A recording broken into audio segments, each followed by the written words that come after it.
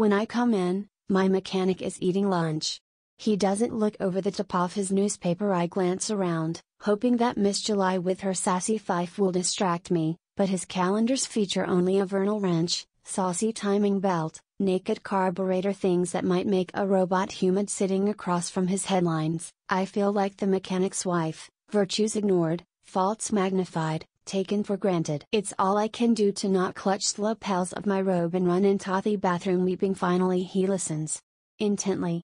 Leaning closer, one hand on my trembling manifold,